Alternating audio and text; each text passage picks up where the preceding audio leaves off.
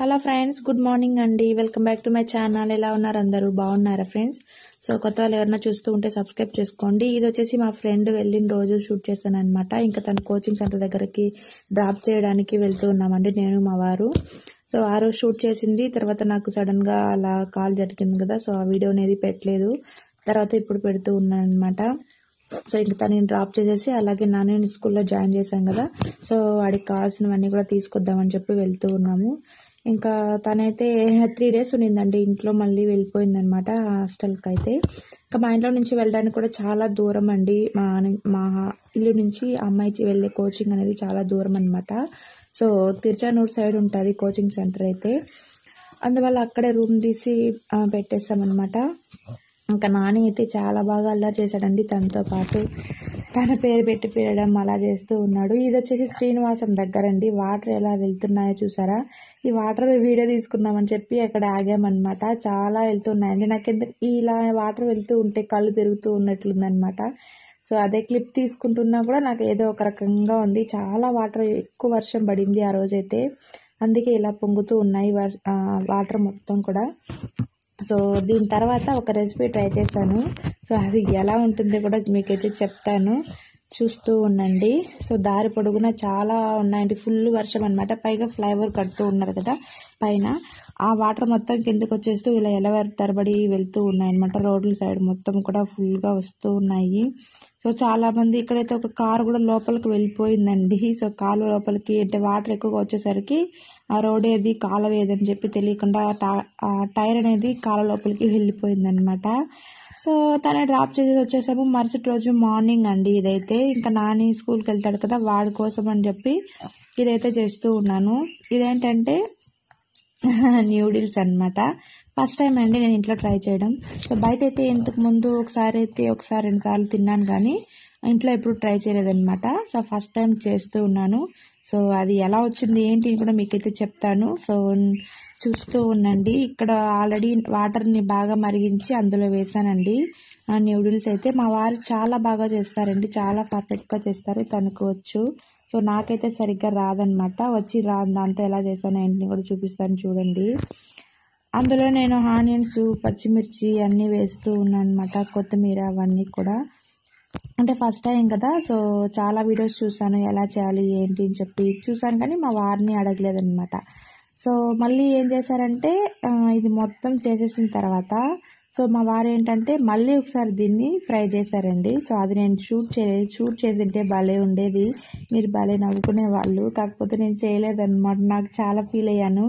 అంటే నాకు పర్ఫెక్ట్గా రాలేదు అనుకొని ఫీల్ అయ్యాను అనమాట అవన్నీ కూడా వెజిటేబుల్స్ అండి నేను వేస్తున్నది. అంటే అన్నీ పర్ఫెక్ట్గా వేసాను.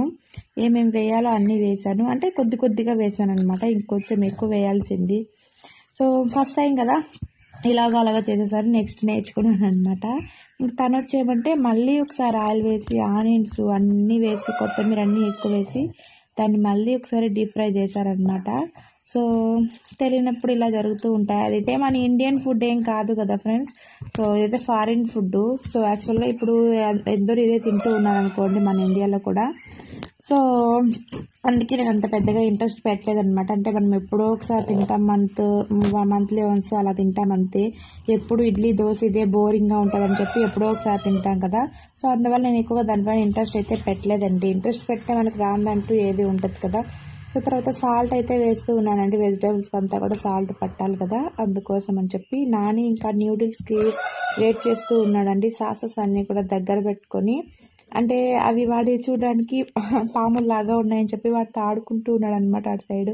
ఒక్కటొక్కటిగా తీసుకుని. సో వాడికి తిన్నామని చెప్పి ఆశగా ఉన్నాడు. కాకపోతే మరి అంత ఎక్కువేం తినలేదండి. సో వాడైతే ఇంకా మా వారు వాడు స్కూల్లో జాయిన్ చేసి వచ్చిన తర్వాత టిఫిన్ చేశారు. అంటే స్కూల్లో వదిలేసి వచ్చిన తర్వాత టిఫిన్ చేశారు. సో అప్పుడు తను మళ్ళీ ఎక్కువ చేసుకున్నాడు అనమాట ఇదైతే నేను చిల్లీ సాస్ అండి వేస్తున్నాను. ఈ చిల్లీ సాస్ అనేది ఒక్క ఒక్క స్పూన్ వరకునే వేసాను అనమాట అంటే ఎక్కువ ఎక్కువ వేయాలేమో మేబీ నాకైతే తెలియదు కదా.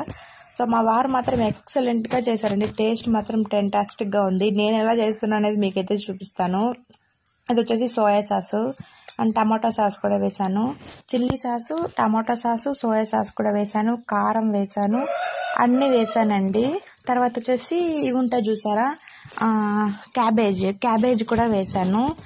అండ్ ఇంకోటి ఏంటంటే నాని కోసం చేస్తున్నాం కదా. మార్నింగ్ మార్నింగ్ ఎగ్స్ ఇస్తే వాడు తినలేదండి. సో వీటితో పాటు ఎగ్ కూడా వేద్దాం. అది హెల్తీ ఫుడ్డే కదా.